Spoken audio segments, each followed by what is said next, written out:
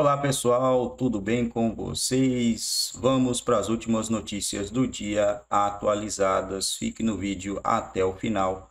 E tem notícia boa, notícia que até mesmo diverge do que diz né, o começo do vídeo aqui. Quero pedir a você que ainda não é inscrito em nosso canal, dá essa moralzinha aí pra gente, se inscreva no canal, acione o sino das notificações porque assim toda vez que eu postar um vídeo novo, você será notificado na mesma hora aí no seu telefone ou no seu aparelho. E já deixa também o like, que o seu like ele ajuda demais aqui no nosso canal, no engajamento na plataforma, beleza? Sem muito enrola, vamos ao vídeo. Serão realizadas em Brasília as eleições para a presidência do Senado e da Câmara dos Deputados. Marília Sena chegando ao vivo com os detalhes da apuração, né, Marília? Boa noite. Conta pra gente como está essa disputa. Oi, Lívia, boa noite para você e para todos que nos assistem. Olha, em pleno recesso parlamentar, a disputa, as articulações pela disputa da presidência do Senado Federal e da Câmara dos Deputados estão a todo vapor. Lá no Senado, tá, o clima de disputa está maior, viu, Lívia? O senador Rodrigo Pacheco tem como adversário político o senador eleito Rogério Marinho e o senador Eduardo Girão. Rogério Marinho é o candidato do PL, partido do ex-presidente Jair Bolsonaro e alguns aliados ali, tanto de Rogério Marinho e de Rodrigo Pacheco, afirmam que Pacheco é o favorito para ser o presidente do Senado Federal por mais dois anos. Ele é o atual presidente do Senado Federal, seria reeleito. Alguns contabilizam ali que Pacheco tem de 41 a 55 votos. São necessários 41 votos para a reeleição de Pacheco. Até mesmo os aliados de Rogério Marinho, senadores que vão votar em Rogério Marinho, afirmam que apesar de apoiarem Rogério Marinho, acreditam que o senador Rodrigo Pacheco vai ganhar aí essa disputa. Rodrigo Pacheco é apoiado aí pelo Partido dos Trabalhadores, partido do presidente Lula e por seus aliados. Lembro que o PL terá a maior bancada na próxima legislatura lá no Senado Federal com 15 senadores frente ao partido de Rodrigo Pacheco que tem 11 senadores, União Brasil tem 10 senadores e o Partido dos Trabalhadores terá 9 senadores senadores. Já na Câmara dos Deputados, Lívia, a disputa é menor para Arthur Lira. Arthur Lira está mais confortável porque ele ainda não tem nenhum adversário à sua disputa, já ganhou o apoio do Partido dos Trabalhadores e até mesmo do PL. Lá ele está mais avançado, viu? Ele já está aí costurando os nomes dos presidentes das comissões da casa. Lívia. Agora, falando em presidência da Câmara, Arthur Lira, como você já trouxe alguns destaques para gente, né, Marília? Falou também sobre o inquérito dos atos em Brasília. O que, que ele disse? Em conversa com jornalistas na manhã desta segunda-feira, Ira foi questionado se concordava com o ex-presidente Jair Bolsonaro ser investigado como um dos mandantes dos atos de vandalismo aqui na esplanada dos ministérios no último dia 8. Lira disse que não concorda, mas que apesar disso, cada um responde pelo que faz. Vamos ouvir. Meu CPF é um, o CPF do presidente Bolsonaro é outro. Nós temos que ter calma nesse momento, investigar todos os aspectos. E a nossa fala ela não muda. Todos, todos que praticaram e contribuíram com esses atos de vandalismo devem ser severamente punidos.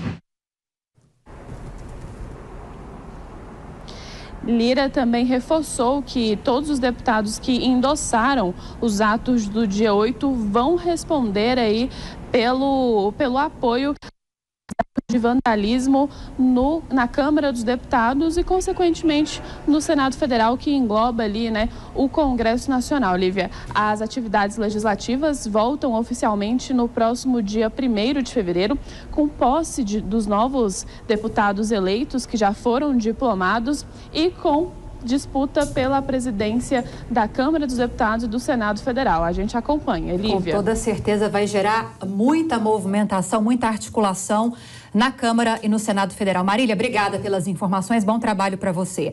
Agora, Adriano Cerqueira, quero te ouvir, queremos te ouvir a respeito dessas movimentações em Brasília. Vamos começar por essas declarações, que a gente mostrou um trechinho delas, do presidente da Câmara dos Deputados, Arthur Lira. É, mais cedo, ele se encontrou com Augusto Aras, PGR, Procurador-Geral da República, para entregar aquele documento, aquela representação sobre os danos, né, as informações relacionadas aos ataques na Câmara dos Deputados e, inclusive, nessa reunião se colocou à disposição, colocou colocou a, a advocacia da Câmara à disposição da Procuradoria-Geral da República para que haja um avanço nessas investigações. E ele disse bem claramente, né, nas duas ocasiões, aqueles parlamentares que tiverem alguma responsabilidade nessa, é, nesses atos, seja por meio de, de mensagens, incentivando esses atos em Brasília, serão responsabilizados, mas evitou de falar de alguma responsabilização do ex-presidente Jair Bolsonaro. É, o Arthur Lira, ele está sendo extremamente cuidadoso, ele está tentando agir uh, presidencialmente, né, ele é o presidente da Câmara dos Deputados, e responde, né, pelo patrimônio, né, é, é, da Câmara, por isso que ele fez essa representação. Ao mesmo tempo, ele, tá tendo, ele, tá, ele é muito cuidadoso em dividir uh, atos violentos, ou seja, uh, pessoas que de alguma forma estimularam, né, é, que esses atos de vandalismo acontecessem. Ele não está responsabilizando todo mundo que se manifestou, né? Ele está sendo muito cuidadoso em indicar que uh, a ação violenta contra o patrimônio público e contra, no caso específico, uh, as dependências da Câmara dos Deputados, uh, não pode passar em branco e tem que ser severamente punido. E está certo isso. Então, a, a, fala dele é muito cuidadosa, é, até porque ele, ele faz parte de uma bancada é, que foi eleita apoiando o presidente Bolsonaro, né, é uma bancada majoritária, e ele sabe que as, a, o favoritismo que ele tem, uh, minimamente, né, o, no mínimo, o favoritismo que ele tem para se eleger, depende de não entrar em choque direto contra essa bancada, mas ao mesmo tempo ele não está abrindo mão do dever e papel dele como presidente da Câmara. Pois é, Cerqueira, queria tratar da eleição para as presidências da Câmara e do Senado. Como disse a nossa repórter, a campanha para a presidência da Câmara está mais tranquila, afinal, Arthur Lira, por enquanto, é o único candidato. Agora, já no Senado, a situação é um pouco diferente. Ainda que Rodrigo Pacheco seja o franco favorito, candidato uh, do governo federal, ele tem dois adversários, Eduardo Girão e também o senador Rodrigo, Rogério Marinho Pacheco, Rogério Isso. Marinho e Eduardo Exatamente. Mas é, Pacheco, enfrentando esses dois candidatos, um do Podemos e o outro do Partido Liberal do Estado do Rio Grande do Norte. Esses dois poderiam conseguir votos dos envergonhados ou até votos de protesto de alguns senadores? É, o, desses dois que estão disputando, acredito que o Rogério Marinho é aquele que tenha condições de ter um, número bem mais significativo de votos, né? ele talvez seja o principal adversário. O Eduardo Girão pode até ser uma espécie assim de divisor de águas para facilitar a eleição, é, do, reeleição, no caso, Rodrigo Pacheco.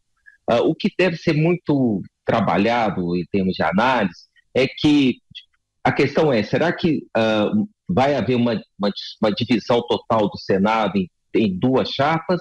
Ou essas chapas são uma forma de negociar junto a, a, a, ao Rodrigo Pacheco, os papéis né, importantes uh, nas comissões lá do Senado. Com certeza está dando uma forte discussão uh, na composição dessa chapa do Rodrigo Pacheco. Se, se o Rodrigo Pacheco conseguir fazer uma boa negociação, pode até ser que nem tenha chapas é, é, disputando. Caso contrário, pode sim haver essa bateção de chapa, né?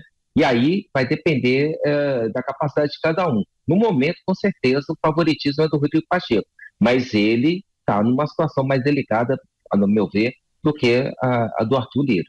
Então, pessoal, eu não entendo, né, por que o Girão não renuncia isso daí e ajuda o outro candidato, que é o Rogério Marinho, né? Seria uma boa aí, não, não, não precisa, cara, eles lá não estão divididos, eles lá só tem o Pacheco, e a direita vai ficar com dois caras ali, qual que é a necessidade disso? Une um só, o que tem mais voto é o Rogério Marinho, Mas segundo o presidente do PL, né, Valdemar da Costa, Rogério, eles têm voto para vencer aí já com o Rogério Marinho vencer a presidência do Senado. O Girão tá fazendo feio, né? Eu acho que o pessoal deveria ir lá no ouvido dele falar para ele apoiar o Rogério Marinho, que seria uma melhor aí para direito para ter, né? Como você ter uma disputa ali no Senado, porque se ficar tudo de um lado só, aí fica complicado, né, rapaziada? Já deixa aí o seu comentário, a sua opinião, o que vocês acham dessa notícia, o que vocês acham da minha opinião. E o governador Zema é, já se mostrou ali, já deu uma, uma alfinetadazinha aí, né? Olha aí. Zema diz que o governo do PT pode ter facilitado as coisas que aconteceram lá no DF, né? O que, que vocês acham que pode acontecer com essa alfinetada aí do governador Sema. E mais essa noticiazinha aí do pessoal do amor, né? Dá uma lidinha aí, pessoal. Dá uma lidinha aí para vocês verem o que o pessoal do amor está fazendo para o bem da nossa nação brasileira, né? O pessoal está trabalhando firme para o bem da nossa nação brasileira, né? É isso aí, o pessoal tem que trabalhar, eles estão ali para trabalhar em prol da nossa nação brasileira. Deixa aí o seu comentário o que vocês acharam dessa notícia maravilhosa. E tem gente ainda, né, pegando no pé, tem senador aí pegando no pé dos caras, meus amigos. Não quer largar o osso, né? Tá dura a briga aí, essa novela ainda vai longe, né? Ainda vai longe. Deixa aí o seu comentário. O que vocês acham dessa noticiazinha aí que está passando na sua tela? Tomara que tudo se resolva para o bem da nossa nação, porque a gente quer o bem do Brasil, né? Não estamos aqui para torcer contra alguma coisa ou a favor de alguma coisa. Eu torço a favor do Brasil e quero que o Brasil avance e alcance altos patamares. Já deixa aí o seu comentário, o seu like. Você que ainda não é inscrito, se inscreva em nosso canal. Perdoe aí as. Me fugiu a palavra aqui, pessoal. Ai, deixa pra lá.